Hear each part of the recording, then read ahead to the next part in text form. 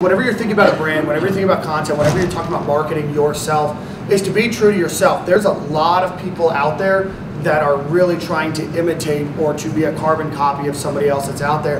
And the most important thing to always remember is if you're trying to copy somebody, the best you will ever do is second place, right? So it's very, very important to be who you are. If you are not funny, if you're not punny, that's okay. The world's not full of funny people.